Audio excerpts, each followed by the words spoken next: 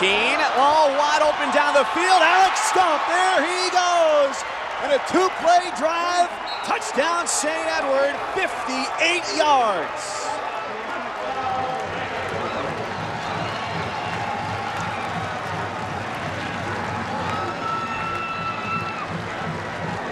Beautiful play here, and, and, you see the lateral to start off. Keene to number two, Frank God, made sure he was back, so it was a lateral. Boy, you see the Gilman defense.